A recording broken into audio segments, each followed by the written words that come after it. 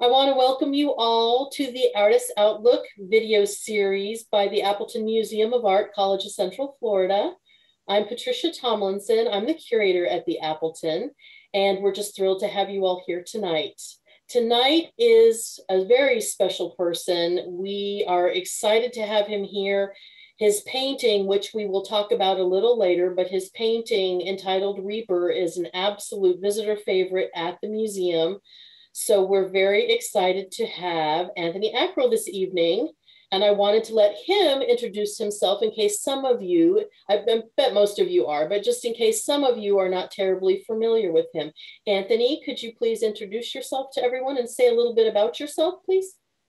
Hi, my name is Anthony Ackrill, and I'm a painter. I've been painting for about 20 years or so. I went to the uh, Florence Academy of Art in Florence, Italy, and I studied there for five years. And I also taught for four of those years while I was there. And my the background of the school is teaching a very a very academic approach to painting, the type techniques that you would have learned if you wanted to be a painter anywhere in Europe prior to 20th century, 19th century, 18th, 17th, all the way back to the Renaissance era, the techniques and methods were very teachable, very traditional, um, based on a truth to nature of painting a image that looks believable in relation to nature, not necessarily super, super real, but everything was pretty much understandable and believable uh, in our portrayal even though there was various styles within that. But that was that was the type of training that suited my temperament, and so I went there. Came back to Gainesville in 2000 and have been living here and working in my studio and selling my work since then. Marvelous. Um, I think it's a really interesting story. Um, you mentioned it a little bit, and I've also heard it around the museum how you got started in this very classic style. Can you tell everybody kind of how that happened? I think the story of that is fabulous. Oh, well, it's it's just the way I wanted to draw and paint when left to my own devices was um, like a lot of people, you I, I had no background in art. I didn't grow up with any influences of art. Nobody in my family was an artist, never went to museums, and I just when left to my own devices to make a picture, I just tried to make it look like what it was. And I found um, in doing so that it was challenging to me that no matter what I wanted to depict, I had to figure out how to do it with each individual item. How do I make this orange look like an orange? How do I make this teacup look like a teacup, a tree like a tree? And I was really struggling with it because I was doing it on my own. I, I didn't go to college, so I had no art background, and I tried to go to University of Florida just to take art, and I was chagrined to find out you have to start out as a freshman and take all kinds of courses that I had no interest in. I just wanted to learn how to paint. So one thing led to another, to me searching out a teaching method that would teach you how to paint a, a series of, of um, guidelines that you could then apply to every single thing that you paint. You don't have to reinvent the wheel with every single subject that you want to paint. And I really gravitated towards figure paintings, uh, particularly believable imagery like from the Renaissance era and 17th, 18th, 19th century. It really appealed to my sensibilities for picture making. And I was so impressed by the, um, the, the craftsmanship, the skill level that they possessed, that really uh, impressed me. Their uh, technique was important as well as composition, design, theme, and everything else about uh, a picture. So through a series of happy coincidences in a long chain, I ended up learning of the Florence Academy of Art, actually by going to a lecture at the Appleton Museum on William Bouguereau, who is one of their uh, best paints, paintings in their collection. And the man who was giving the lecture there, I asked him, how do you get that type of training that he would have gotten back then? And he said, go to Florence Academy of Art and study there. And so that put the chain in motion and I started. and um, turns out he was also associated with that school and was art historian himself, quite prominent. And he ended up being there when I was there. And uh, so it was a, a nice circle of events. But I never looked back. And once I got started in that training, it was very focused, very disciplined. Uh, you worked eight hours a day, five days a week, uh, 40 hours a week in the studio under constant supervision with instructors who were looking at your work and your subject and showing you what the difference was, how you did not have it right, how no matter how great you thought it was, you're wrong. And it's not about making a perfect image, it's about training your eye and hand to work together. The, I would say the main thing, the biggest thing I learned there was how to see, how to really, really see what I was looking at and break it down and analyze it. What makes that, what makes it look like that elbow is closer to me than the wrist on that body? How do you portray that on a two-dimensional surface and make it look three-dimensional? And it's it's just a lot of things that it's very teachable. There's nothing vague or abstract or conceptual about it. And if somebody is showing you it, why you don't why you didn't get it right, well, look, this is wrong this way, this is wrong that way. It was just very in, in, instructive to have somebody show you what is wrong with your work and what you are doing right, and to explain things. And it really appealed to my sensibilities of having a, a construct, a sense of rules to follow. Tell me what to do and I'll do it. I, I, I work well in those that parameter. So all the way around, it, it just really, it really worked for me. And the focus there was figure painting as a way of, um, th that was the big goal was to make a good figure painting and it's it's a means to an end. It wasn't that you should then go out and do nothing but figure paintings, but I became enamored of human form and human anatomy. I ended up teaching anatomy there, and I just became that's all I wanted to do was paint figures. I just want to paint figures in landscapes. Um, and the, the gist of my work end, ended up is a lot of figure paintings, nude figures in sort of an idyllic setting in which there's no indication of a time period. I don't include contemporary items like cell phones and blue jeans and red plastic cups in littered. And I want, I want my work to be understandable to somebody 500 years from now. And I would like that if you took my painting back 500 years, everybody would understand it then as well. I don't want, I, I guess that's the definition of classic. or, um, but that's that's what I do. And then along the way, I also make some other non-figure paintings, kind of wacky stuff, giant bowling pin, seven feet tall on a big panel in a desert dusk sky. Um, I'm a little bit all over the place in that regard, but my biggest focus is um, figure paintings. And I, I think a well-painted figure by anybody is one of the, the finest achievements in, in art um, it's quite a challenge. There's nothing easy about it, and it takes a lot of training, a long time, and you have to be serious and disciplined and focused, and have a fair bit of talent to start with um, to do it well. That's what I, I can tell you so I will. That's that's wonderful, and I, it's makes us very proud that the Appleton played a little part in your story. We're very grateful for that. It's a huge you, part a huge part. Thank you. I was looking at the Bouguereau paintings, and yeah, one thing led to another. Well, and since you mentioned him, obviously Bouguereau is a big, you know, a big piece of your work. But what other influences? Are there other painters that are influences to you? Let's talk a little bit about that. I'm real impressed with Renaissance era paintings like Caravaggio and Titian. Um, anybody that was portraying a sense of drama or beauty and a good sense of form and in their work and contemporary painters um, figure painter Odd Nerdrum, Norwegian uh, painter. I studied with him for a bit uh, after I went to Florence Academy of Art. Um, I, I'm, I'm impressed by, by form. I, I like uh, I, I, like beauty in in in art and in imagery and drama and um, the Renaissance era to me really epitomized that. I mean, largely there was a lot of religious iconography in their work because that's what they were being, they were being, artists were being supported by the church and uh, the Vatican. So they had to paint religious themes, but even within those themes, they were pulling off some pretty interesting stuff.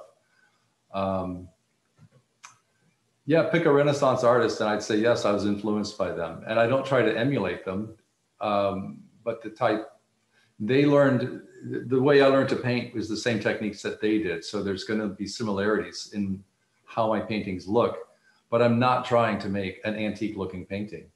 Uh, it's just that whatever sensibilities they had for how to make a picture are mine as well.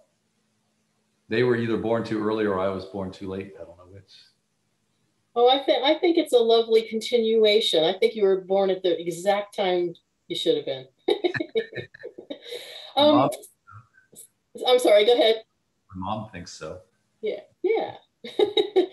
well, um, let's maybe take a peek at some of your artwork. Now, I did want to mention everyone, just for full disclosure, um, as Anthony mentioned, he does paint nudes. So there are these paintings will contain a great deal of nudity in the imagery that we're about to see. So I just wanted you all to know. So let me get this up on the screen.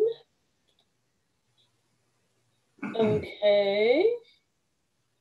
Just one second. There we go. Okay, so Anthony, I did put these, we had talked about this a bit. I did put these somewhat in uh, from earliest going to latest, but I just thought you could, you know, kind of discuss a little bit. And of course, I'll ask you some questions too, sort of about the continuation, because we had a really kind of interesting discussion about that the other day um, off camera, so to speak. And um, I think it would be interesting to touch on some of that too. Okay. So let's talk a little bit about Funeral for a Dream. One of the things I think that is really interesting about your art, and I would like to know this from you, and I think a lot of our viewers might as well. There's there's a whole lot of sort of myth, to, to my mind, myth and legend, and I don't know if they're myths and legends that you've come up with, or if they're really patterned on actual myths and legends that that we all have studied and know about. Could you talk a little bit about that?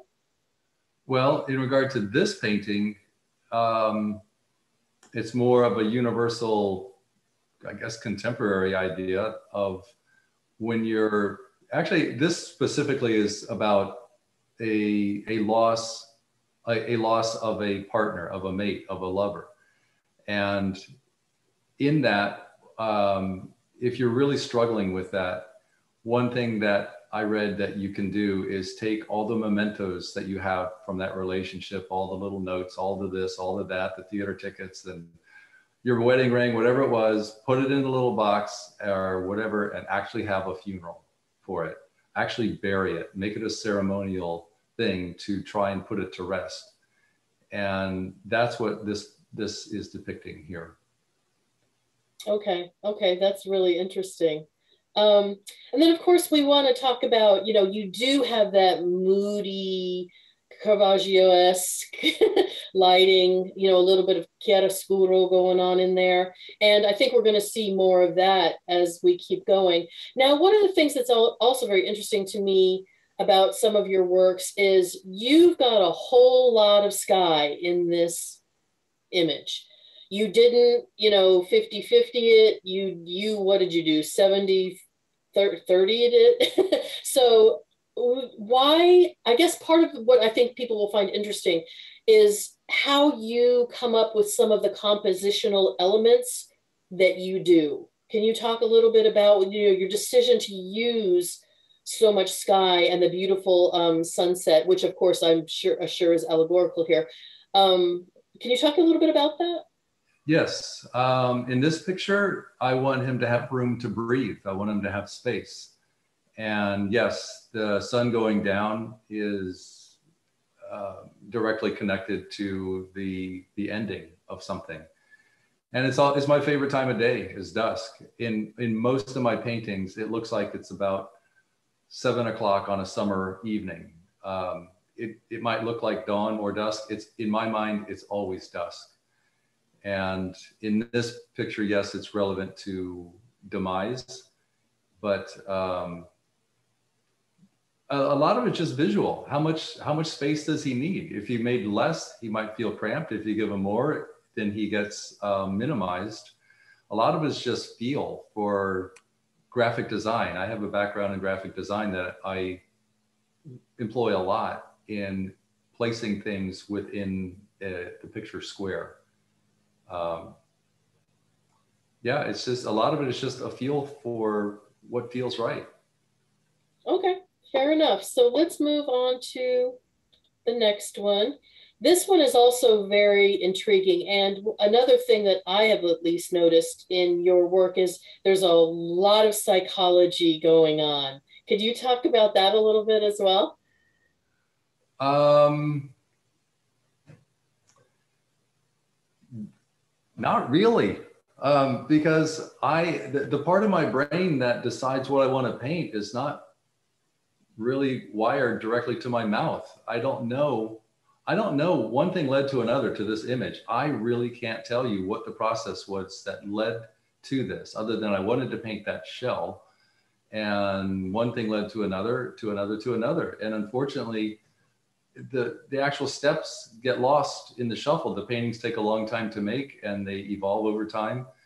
And very often when I'm done with a painting, I look at it and I'm seeing it for the first time in the same way that everybody else is seeing it. And I look at it and I decide, well, what's that about? And I have to figure it out and come up with a title. I, I'm not usually starting out with a concept and saying, how can I portray this concept? I'm usually starting out with a visual image or an idea, and usually with a figure. And in this one, there's a lot of repeating forms, patterns, um, and motion. And uh, I, I, like a lot of sky. I like I love painting the sky, and most of my paintings feature um, late afternoon light, water, and um, a lot of sky. Um, yeah, I, I, know I don't have a great answer for that question, and I'm, i feel like I'm supposed to, but I'm not saying I'm a channeler, but the, the, the, paintings come to me bit by bit and form themselves in a way, and they often change in the process um, based on what I already put on on canvas. It's very few paintings that I start out with with a concept to portray and stick with it all the way through. See, that's really fascinating. I would not have seeing your art and becoming so familiar with it. I I wouldn't I would ne- wouldn't necessarily have guessed that. I find that's really interesting. So let's go to the next one. This one is also I've got my own narrative of what's going on here, but um, I and I love some of your titles because I mentioned this to you once too. I think it is extremely interesting that you've got, you know, a nude young woman holding a skull with her fingers actually in the eye, eye sockets, and it's entitled Picnic. Hmm. So I think that's really that that to me just opens a hundred more questions. Could you talk about kind of the marriage of the artwork and the title as well? Um, in this one, I would say it is I, I do like contrast i do like juxtaposing things that don't seem to go together whether it be a, uh, a texture uh, like I, I, might paint a, uh, a still life that shows a, a, tomato in a vice being slowly crushed or soft and hard um, um, and in this case it would be youthful beauty and a woman who represents a life-giving entity and death obviously in her hand. Yet she's she's delighted you know she's very pleased with who she is and where she is. And even though she's embracing death with her hand um, and again with this one i had i have to come up with a title. Some paintings i would rather not title but i i have to for gallery purposes. And i she looked like she's on a picnic. I mean like she could be carrying a little basket in her hand. So I I just like the irony of that title and the look on her face that she is so. Um, it, it's no problem to her that she's that close to death. She's young and beautiful and healthy and has everything in the world for her. So no, I mean, yeah, there, there's no real story to me other than a combination, the irony of combining all of those element, elements in a picture. And then of course the, the, the sky and the, and the sea also, you know, timeless elements of, of life, water and uh, air. Mm-hmm. Okay. Um, let's move on to the next one. Now, another thing I wanted to talk to you about, um, you had mentioned to me, and I think a lot of people will find this interesting. You sort of just touched on it in the very beginning. Um, you use live, real human beings when you create your imagery, yes? Always. I never paint a figure without a model, and the figure is painted almost entirely head to toe uh, side to side, front to back, copying what I see, more or less. I might I might change some things on some people a little bit, but I work exclusively from life. And um, in some cases, I've actually had to mix and match body parts, put somebody else's head on another person's body just for aesthetic reasons um, and design. Um, but yes, I always work from life. The process is far more engaging to me to have a real live person there. It's much more daunting. Uh, copying from a photograph is quite tedious and not very interesting to me. Engaging in the real process with a real person, and they're there in front of me, and I know them, and we work together for many, many hours over time. It's that dynamic um, connection that I have with them in creating this painting rather than just about me sitting there and making stuff up and portraying it. Um, yeah, so everybody in this is somebody very real. So that brings me to another question regarding that. Um, are these how do you, how do you get your models? Are they are they friends? Are you you know hitting up the guy at the local grocery store? how are you getting your models? I've uh, pre-internet. Um, yes, I used to occasionally ask uh, a person. In uh, that was the hardest thing to do is ask a stranger, and most people said yes. And, uh, but by and large, I started out by just placing an ad in the college paper for an artist model for paintings. And, um, well, I was surprised how many people apply, young people. And once I got started, just word of mouth, one thing led to another to another, and I really didn't have to advertise anymore. Um, yeah, so it's it's been happenstance. Okay So let's move on to the next one. Another thing that I've noticed in your work as as it's progressed through time, and I I don't you may shoot me down on this, but from what I've seen, this seems to be the case. You have gone. You how to explain your your forms have become entangled some of your earlier work it was you know the heroic male nude the heroic female nude and now now through time it seems like you're having them interact and entangle and you you seem to really delight in the complexity of where you know where does this limb go and where does that leg go and you know and, and i think that's really interesting do you feel that did you see are you seeing what i'm seeing or am i off on that I I do. I never really thought about it, but yes, I like I like design. I like the entanglement in this picture in particular, and the interlocking forms, like putting two pretzels together. Um, and yes, I, I just wanted to have more elements than just the single figure in there. Just it, it doubles the psychological impact of what you're looking at, and it, it doubles how much you can portray the most I've ever painted, I think, was four people's. Well, three people and a mermaid in one in one painting. Um, I I like, yeah, I, I, like the more the merrier, but I have a limit for how many people I can um, get squeezed into a box and and still make it all work. Gotcha, gotcha. Okay, and then oh, and another thing I wanted to mention too is um, one of the things I I really appreciate about your art, and I, I'm probably not alone in this, is your female forms in a lot of, not all your paintings, but a lot of your paintings, your female forms are Rubenesque. They are curvy. They are, they look like real women. And I, I really appreciate that because especially, you know, you see so many extremely thin people in advertising and and movie stars and pop stars. And you know it's nice to see people especially with these two they look like real human beings that you might see when you're out taking a walk. Uh, that's because they are. These are two real women.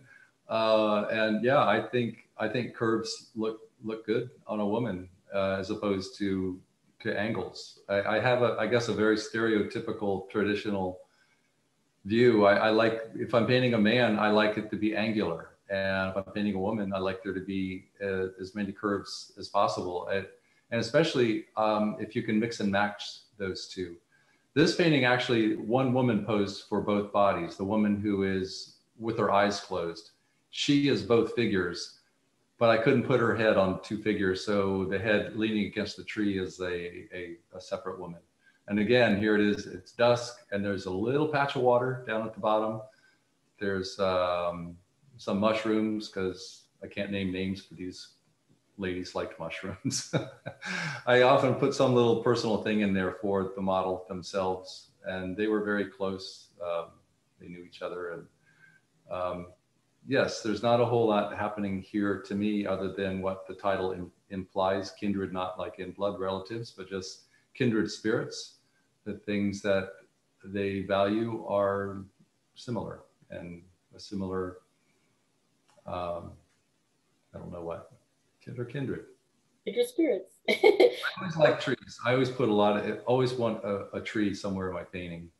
Uh, so there's lots of trees, the, the, com- the common themes are trees, water, sky, and figures. Mm-hmm, mm-hmm. Well, and that goes right back to that bucolic setting that was so common, you know, historically in art. I mean, you you would set your goddesses and your heroes in these beautiful, you know, mythical gardens and whatnot. So for me, you're just you're continuing that wonderful tradition. Well, as I said earlier, I I I the biggest focus I, I want to make an image that is beautiful. I feel like there's ample opportunities to look at ugliness in the world around us, and it's all created by humans. I think if you roamed the entire planet before a human was on it, you would not find one thing disagreeable to look at. So there's plenty of ugliness out there. I feel I would be remiss to go around creating something that's not attractive when I have the ability to make something that is beautiful and I just mean visually beautiful to look at, or maybe how it feels or how it makes you feel. I don't think anybody typically feels bad looking looking at my paintings. I hope not. Um, again, it's it's it's it's not a very lofty approach to painting what I make. I, I like painting things. I like painting scenes that I would that I find appealing to look at, or that if I was there, I'd say, "Oh, that's nice." That's pretty almost childlike. Well, that's fair enough. Um, the next one we have here is title. So we're moving through time now to 2012. And one, and I noticed this through time with your with your paintings as well. And once again, correct me if I'm off on this, but there there is, a, um, how to put this, uh, I don't want to say eroticism, but there is a is a playful, loving manner that I see. You see it in Kindred, you see it with these two ladies. You know, they're they're clearly very united. Um, yes, I, I'm aware that there is some sense of sensuality within the figures, just they being nude in the first place. Um, I'm very careful to not make any kind of overt eroticism in it that changes the nature of my work in general and I'm not opposed to it. It's just that for what I'm doing, and frankly, for trying to sell paintings, that's a, a more limited market. Um, so yes, it's sometimes a little more overt, like in in this one, I guess. Um, but it also, it, it, it, to me, always feels rather innocent at this at the same time. Um, nothing threatening about it or or offensive, at least not to me in it.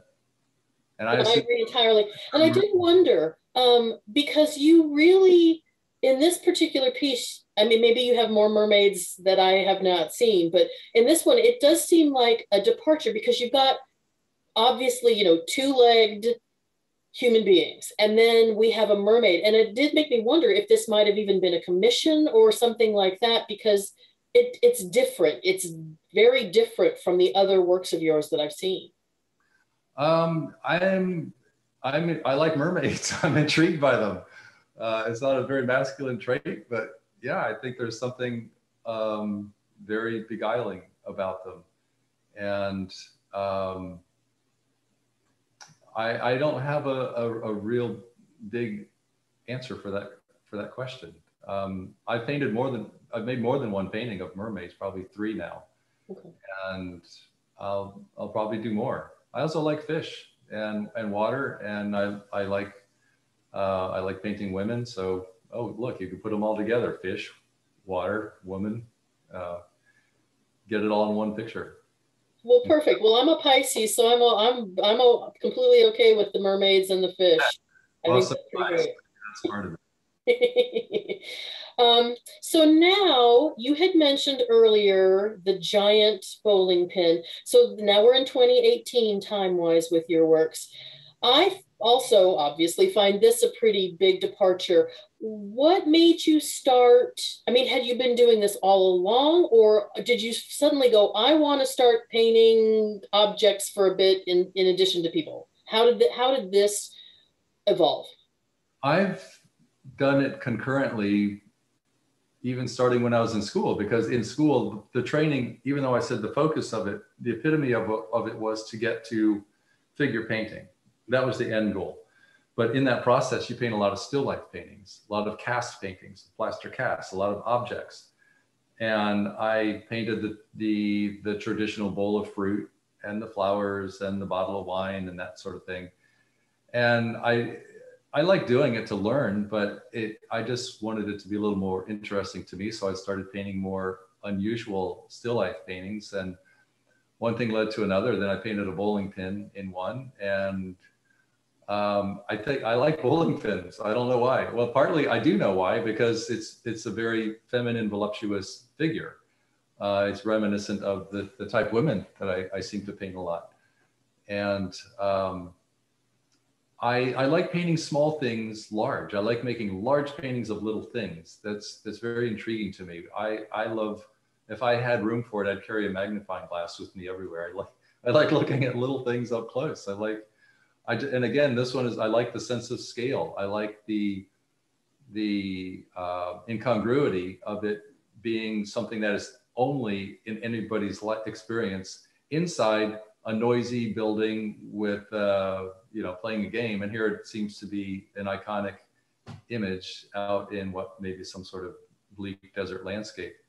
Uh, there's little stars in the sky. You can't maybe see it on this painting. So it's titled Stars Fell on Lane 7 um, no, there's there's no big story behind this other than I I, I like bowling pins. Fair enough. Well, but I but the way you've lit it once again, it's it's like the heroic figure in bowling pin form. I mean, you've still kept those elements of lighting and that classicism as if it were a human, but quite obviously it's not. So I, I find that really intriguing too. Well, that yeah, that's a good point. It, it does have a, a, a heroic uh, stance to it. Yes, it's, it's very bold. Um, it look, even though it's a bowling pin, you would think you couldn't knock it over. It looks like it's it's 30 feet tall. Um, yeah, that's a good point. How tall is this painting? How large is it? It's uh, seven feet tall. Oh my goodness! It's painted on. It's actually it's painted on a wooden door panel, the type that you would have on a like a, you know, with, with that you could buy with that doesn't have any holes cut into it yet. So I put gesso on the wood and uh, started painting. So it's quite large. That's so it truly is the heroic bowling pin. Yeah. um, here's another um, inanimate object, and I I I do. I really like this painting because I think you picked the perfect fruit or vegetable, depending on how one looks at a tomato. I know that's an ongoing conversation. but for example, if you had put, this is going to sound odd, but if you had put lemons on that, I think it would look, it wouldn't have been as successful. If you had put a cucumber on that, I, I, I think with the dark, cold, metallic sheen of that anvil, that the tomato was basically the perfect thing to pick. Did you experiment with other things on that anvil or was it like tomato?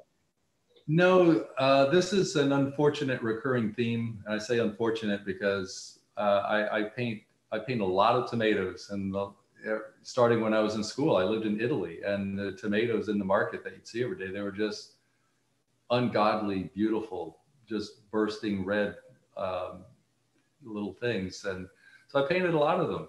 Uh, I would put them in my paintings, but again, I just enjoyed the portraying the contrast of their delicacy with something not delicate. And um, yes, I did the first one I did, I put the tomato in a vise um, and it was slow. You could see it being squeezed.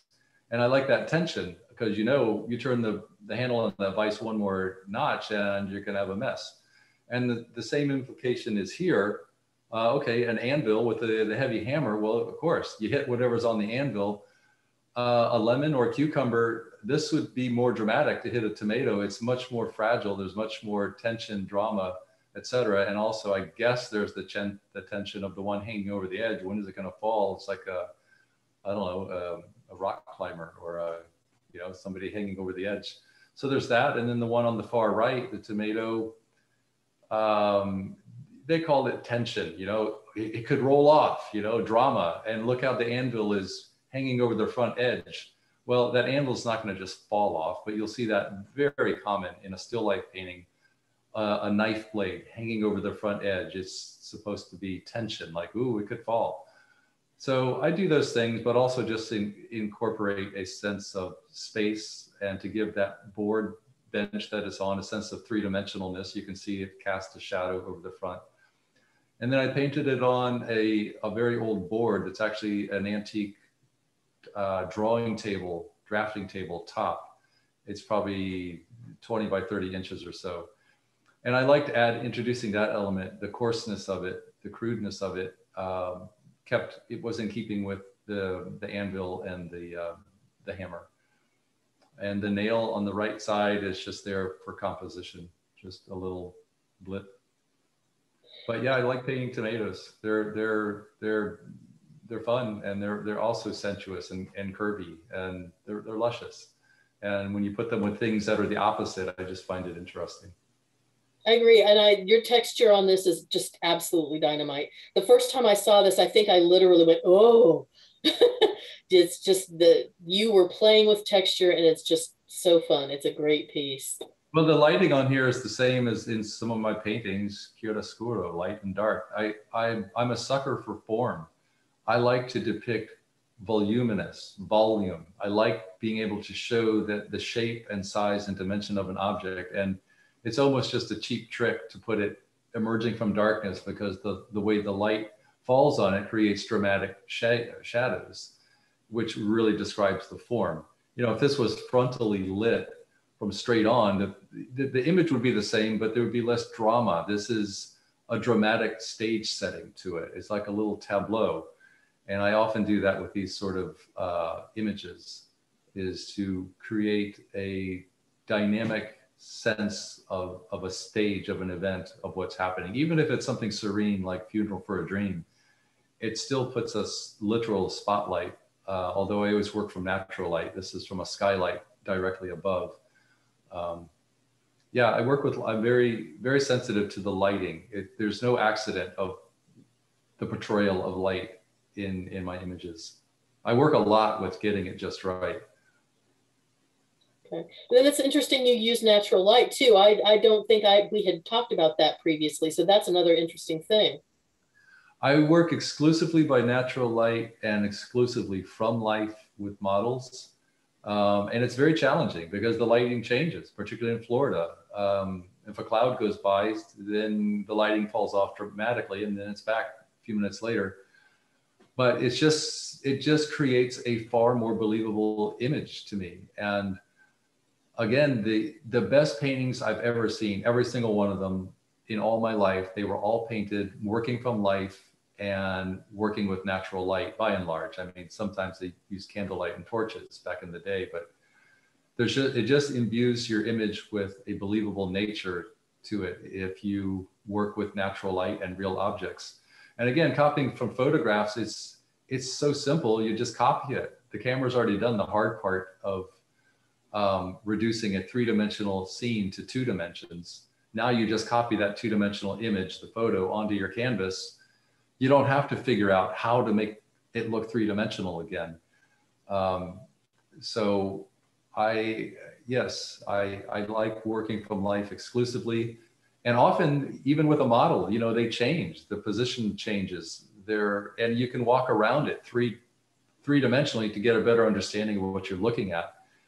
So um, if it, the things that I, that are not painted from life are the backgrounds and all the figure paintings. I'm making all those up, the trees, the sky, the water, I'll, I'll go outside and paint some landscape studies of trees and skies and, and water, just so I have a better understanding of how to portray them.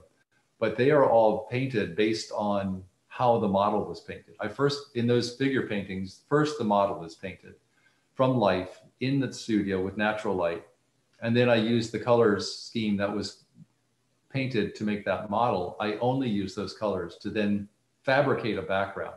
I can't go out and, and paint a landscape that's going to fit what I want in my painting because the model will end up looking like she's cut out and stuck on there. So you have to create a background that looks like the same environmental lighting as what your subject is painted with. And I do that by just not deviating from the colors. Different recipe, different proportions of those same five or six, seven colors that I used to paint a figure.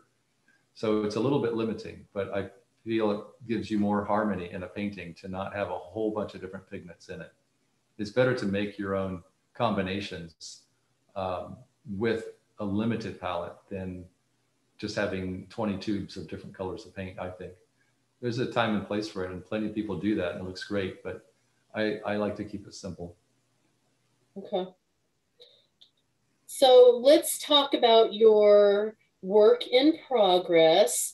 Um, we'll, I'll show the title later at the last slide, but I thought people would really be interested. I mean, you've given a really good overview of your process, but this is like, you know, really getting to see what you do.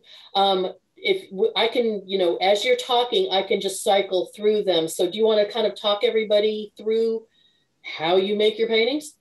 I first start out with a pencil drawing, a small one, like eight and a half by 10 inches, and make a compositional sketch. And then I use the model to get her to pose like what I came up with in the compositional sketch. And once I get that pose nailed down, then I make a color sketch, a miniature little painting, uh, eight by 10, just making it up of what it's going to look like. Then I make that charcoal drawing, which was the first one that we just looked at. Oops, and that, that, yeah, that is, that is large, larger. It's like, that's the size of the, the finished image on the painting. And that's drawn from life. And um, I, I tried to resolve all the drawing issues at this stage in black and white with line with charcoal because it's it's so much easier just to get your drawing correct. That's one of the things that was a big focus at the school was drawing, drawing, drawing, drawing. Get your drawing right, and don't try and combine figuring out your drawing while you're trying to figure out color, value, etc. Get your drawing right. So when I am ready to put the figure on canvas, it's like this. It's like a coloring book ideally the drawing is correct when I transfer it to canvas and I just have to now literally color it like a coloring book. But you can see the outline of where her legs used to be. I get stuff wrong so much, so much all the time. I'm not a strong draftsman. It takes me a long time to get the drawing correct.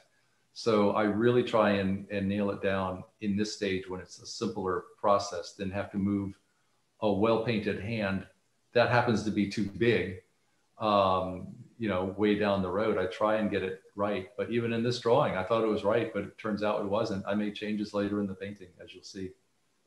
Okay. So then we go to this part. Yeah, they look really bad. They my paintings look really awful for a long time before they get better. And it's discouraging, it's alarming. And almost every painting I make, I go through a process of thinking, I'm not going to get it. I, I can't do this. I'm terrible. What was I thinking? and I just have to plow ahead with it and get it right. I mean, look at her face. It's, it looks like I don't know what. It's it's awful. It's hard to, for me to even look at this. I forgot about how bad this was. But fortunately, this all gets painted over. So that blue, that I put a blue tone on the canvas, thinking because her skin was very pale, the model, um, thinking that some of that cool tone would help if it could show through. But I paint over things so much that those tones never end up really making a difference. But and, and that's what happened with this one. So I just start out with getting the figure on the canvas and defining the drawing with light and dark and then move on to there. And yeah, there's this is just a train wreck. Um, her, her head and shoulder and her little claw down there. so let's let's move on if it's painful. so now we're getting we're getting some color. yeah, this is not a whole lot better.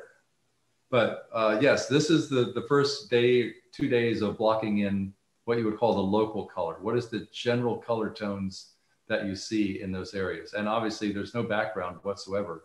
I'm just working exclusively to get her the general lighting scheme on her correct.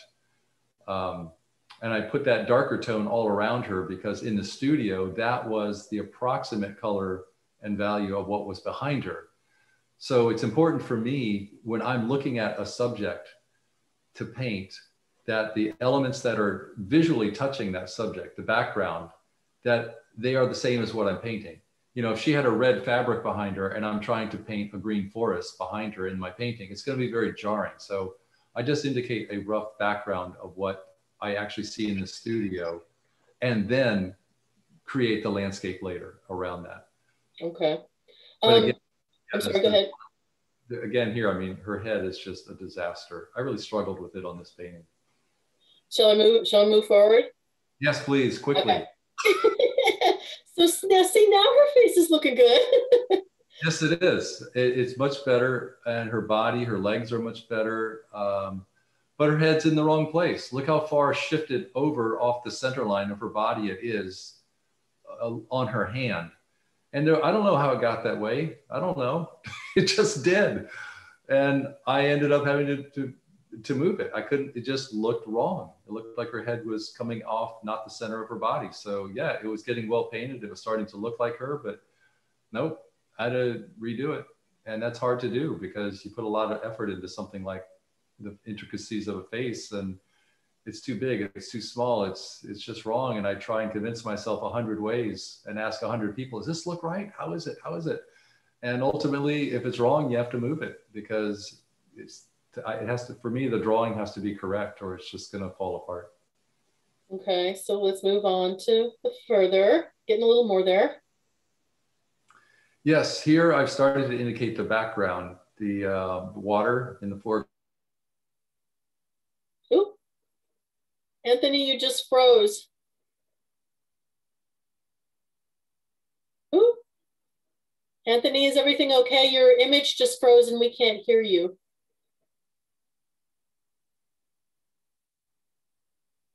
Oh dear. Gigi, do you know what it could be? Anthony, you froze. It could be his area because he was on service. So I have to walk in and walk back out. Okay, I'm, our apologies, everyone. We seem to have some technical difficulties. It looks like he did log out, so we'll we'll get him out. Let's stay with this lovely lady, and we'll try to get him back in. Lickety split, Jonah. If you could watch the um the um him coming in, I can't get to it where I am. Okay. So everyone, I just, um, I'll just talk. um, I, I hope you all are enjoying this. And I, I think, I felt that this was really fascinating to, to see how he does it step by step. And you're really kind of getting into the mind of the artist himself. Obviously, he's a very intelligent person. He thinks very deeply about what he's doing and about his process, even though he may go into this without an idea of exactly how he wants it to look. Um, I think it's pretty obvious how he is extremely contemplative about his artwork. So I think that's a large part of what makes him him and makes him so good because it's it's very carefully crafted. He's paying very close attention to what he does. Uh, doesn't is he back? Let's see if he's back in yet. I see that he's back in, but you got to okay. unmute him.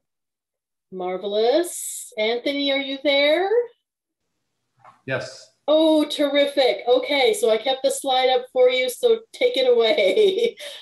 Uh, yes, in in that video, that that picture, yes, I think I pretty much covered it. Uh, this woman had incredibly long, voluminous hair, and you can see that being indicated there.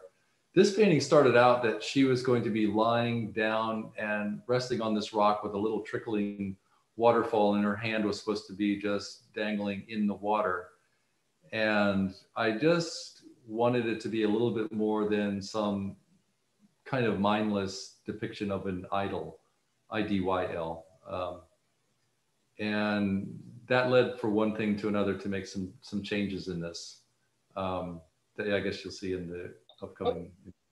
Okay, so let's go to the next. So here we go more. Yes, so now there's a whole lot more background. I'm sorry this picture was photographed at an angle it had to be to get compensate for glare on it. Uh, and the perspective is a little skewed. So now I've changed the position overhead uh, yet again entirely and decided to include a serpent in here that she's engaging with. And the background, uh, you can't see it really well, but there's some waterfall off to the left, the tree mass above her, distant landscape, the usual sky, etc. Um, and I wanted this serpent to be a fantastical one. Um, I didn't want it to be a one that somebody could say, oh, that's an anaconda, that's a boa, whatever. I wanted there to be an element of fantasy in this, and I wanted her to be completely um, not intimidated, even though she's embracing something that typically represents danger or, in some cases, death. No problem for her. Somewhat like uh, Picnic with the woman was very nonplussed about her close connection with the symbol of death. So yes, this is now changing, and uh, fortunately, I was able to just leave her hand in the same place and just stick this snake in there. Okay, so let's go on to where we are. Is that and how how current is this? Is this literally how it looks right now, or have you been um, doing some more since? Some little more things. I've added some goldfish in the water down in the bottom left. Um, work her, her forehead probably needs to be a little bit taller, maybe a little more hair on top of her head. Uh, some little detailed things like that. Uh, I put a bunch more little plants and things in the far bottom right to sort of mimic the, the flower mass that's behind her legs. But yes, you can see there's been a lot of, a considerable amount of elements added. And um, again, there's, there's nothing that I haven't already put in all my other paintings. It's just a different arrangement of them. To, to me, this painting is almost um, a metaphor for Florida or the goddess, you know, Florada. Um, you've got, you know, the magnolia, very southern. You've got the waiting, you know, the long waiting bird, egret, what heron, what have you. You know, I to me, this is an extremely Florida painting. Except for the mountains. Well, yeah, but we're just, but that's all, those are offshore. so the, the imagery too, in some of yours, I saw, I kind of thought this a little bit in also um, your, um, is it, I'm, forgive me, is, was it Twilight at Crying Rock? Dusk. Dusk at Crying Rock. And right. this one, th I may be reading into it, so correct me once again if I'm wrong on this one, but I do see elements of what to me appear to be perhaps a little bit of religious imagery. I mean, because obviously even the snake, I mean, that that's a no-brainer.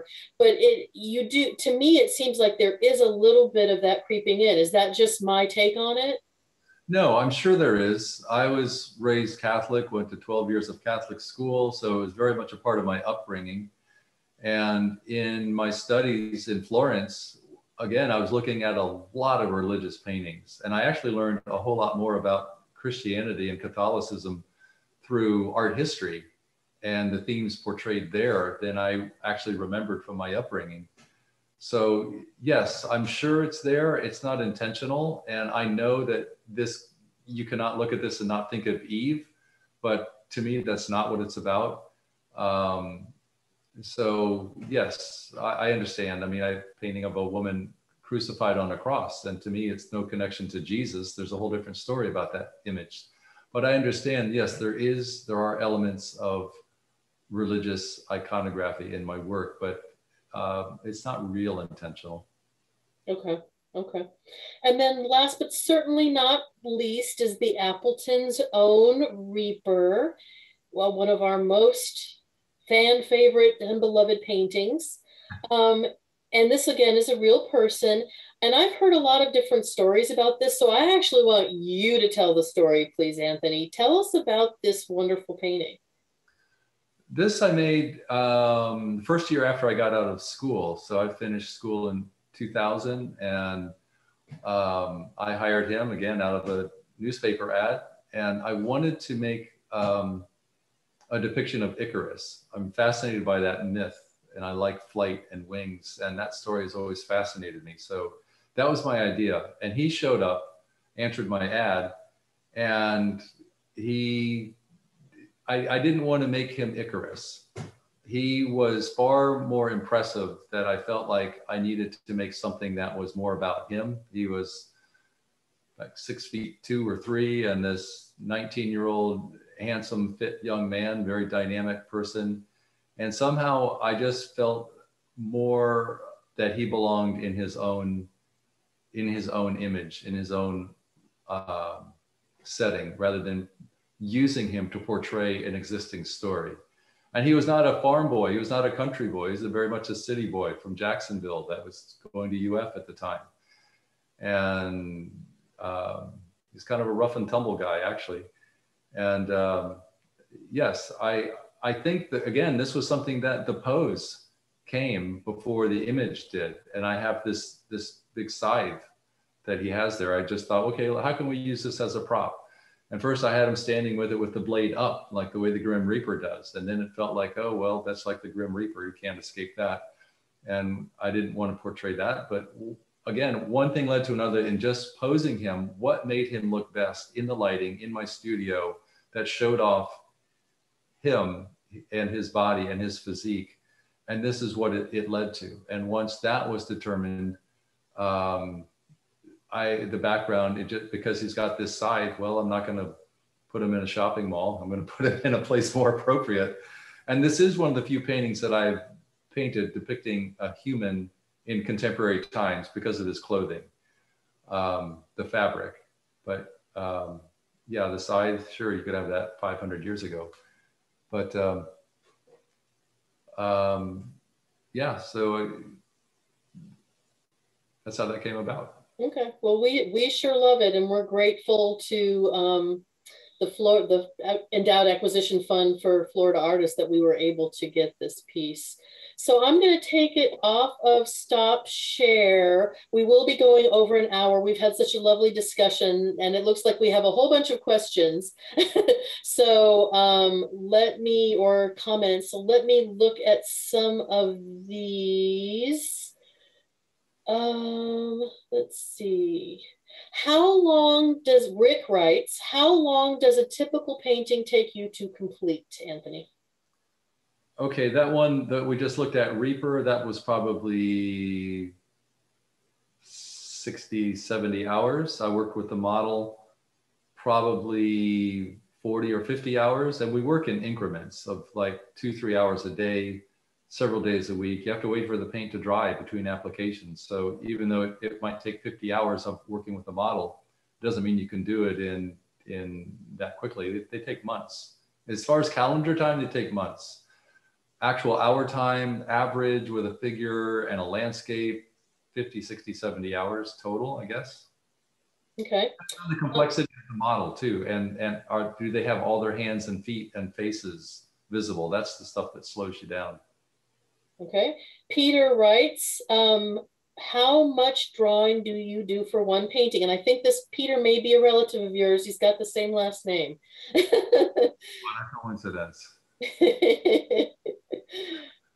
um, I make I make a um, pencil sketch to, to, to come up with the composition, and um, then I make studies for the model. And actually not a lot is one of the reasons I'm not a great draftsman. I don't draw a lot. I pretty much draw only in order to make the picture. You'll never see me out just wandering around with a sketchbook the way a lot of artists do, and it's it's one of my shortcomings. But um, I don't do a lot of drawing. I'm just focused on getting the, the figure right uh, so that when it gets into the canvas, that there's fewer problems to have to wrestle with. Okay. Jim asks, where did you start painting man racing a snail? Where? Yes, where? Um, I'm not sure what you mean. I mean, in my studio in Gainesville, yes. Um, I don't. Sure. I guess maybe maybe he's getting at. Did you have a particular locale in mind or something when you? Oh, in the painting? Um, no, it's just a, a, generic seascape. I think I can't see the picture now, but I think there's rocks in the background just for compositional element. Uh, I know that the person who bought it uh, lives in Hawaii, so it might be appropriate there. It worked out nicely. Um, a lot of my scenes, again, there it's always warm. You'll never see anybody cold in any of my paintings, and I want I I, I like warmth. I don't want to I don't want any frigidness in my my pictures. Everything is warm and sunny and golden, and and like that one too. The water's to me the water is obviously warm wherever he is. Lovely. Sounds nice. Rick also has a question. He wanted, he asks, do you have a preference for painting female nudes or male nudes? And in your mind, is there a difference? Um, I think males are a little easier, again, because of the angular nature of them. You can get it wrong and it'll still look good um, to me. And I just work, it's just easier to work with more angular features. Um, I don't have a preference. I like painting both. Uh, practical level, uh, male nudes are harder to sell, sell. So if I had to choose for financial reasons, it's more financially viable to paint a woman uh, and more socially acceptable. I mean, that's why they're easier to sell. So um, no, I don't have a preference. I, I seem to have almost an equal amount of both in the body of my work. Okay. Suzanne asks, do you start, you kind of answered this, but maybe she wants a little more clarification. She asks, do you start with the nude in an interesting position and then put it in the setting, or do you start with an overall concept? I start with the overall concept with the, the small pencil sketch and then a little uh, color sketch to, to see, um, make a map visually of where I'm going. And then, yes, the, the figure gets painted and the, the landscape built around the figure on the canvas. But it's based on the sketch that I came up with in the very beginning. Okay. Um, then, who, oops, I'm going to get her name. Stephen asks, can you talk about working in a studio with a northern view? Now, how does he know that? well, I, I work exclusively with, with North Light. I mean, it's a lot of people today don't know why that's important, but a North Light studio, you want your large light source. If you're working from natural light, you want your light to be coming from the north because particularly in the uh, northern hemisphere, the sunlight will never shine in your window because uh, of the position of the planet in relation to the sun.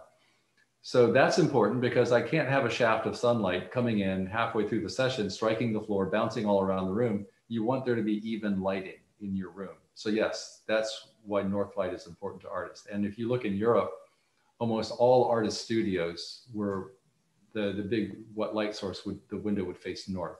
But I also like a skylight. I so I have both in my current studio, large window facing north and skylights so that I can have light falling directly from above.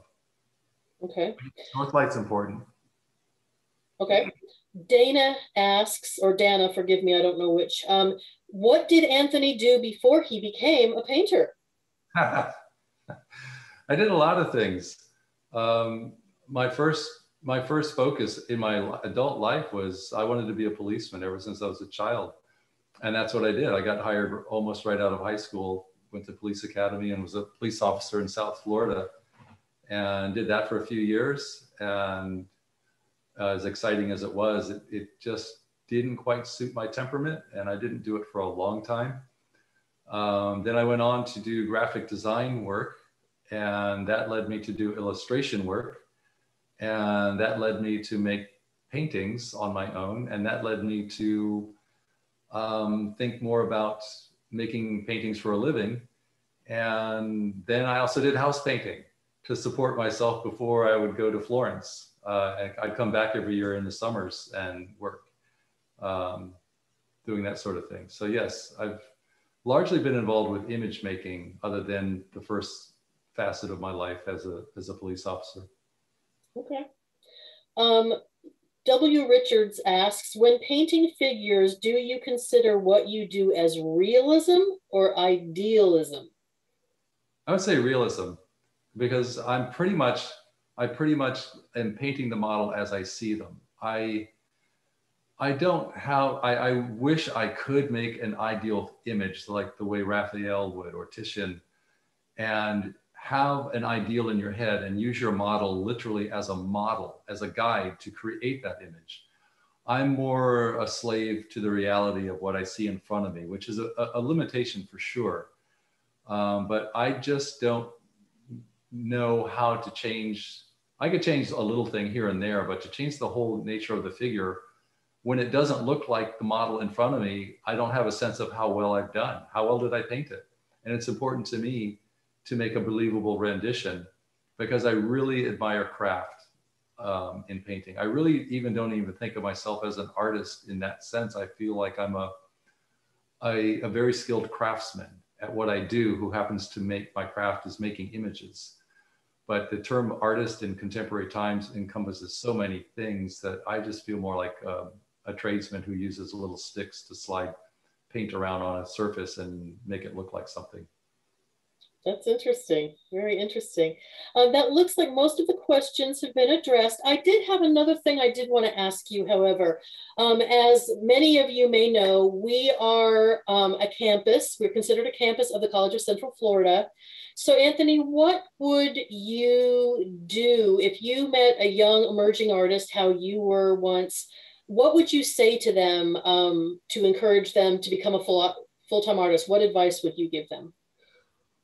you need talent, perseverance, and dedication. It, it, depends on the nature of the type of work you want to do. I can only speak to the nature of what I do, and it requires a lot of time, a lot of energy, a lot of discipline and focus, and you need a good teacher. Um, you have to really focus on drawing skills, and you want the best teacher you can get. And you should only really be leaning towards a type of painting that suits your temperament it's just not going to be a good fit if you don't try and paint in a manner or learn to paint in a way that really is how your brain and personality work for making a picture. The school I went to, it was I was a fish in water. I, I took to it and never looked back and worked really hard for a long time. I was there for five years. So you really need to find what is right for you and drill down and be relentless with it and I know it sounds like a cliche, but to not give up. I was told early on a statistic that 91% of art students never end up becoming a working artist. And that did not discourage me. That encouraged me because it made me think, okay, all I have to do is keep doing it and be, and the 91% of them are going to fall away. You just have to keep at it. And yes, it's hard. It takes money, it takes resources. You have to have a way of making a living while you're doing it. And as I said, my training was 40 hours a week for five years. It was a full time job. And um, perseverance and talent, I don't think there's any substitute for that, and creativity and discipline and money to live on. well, marvelous. Well, thank you so much. Um, I want to thank you all for coming as well. We really appreciate you. We had a fantastic turnout virtually for this. And this, uh, somebody had commented that we should do more of these. This is an ongoing series. We started this very early on, I believe it was March.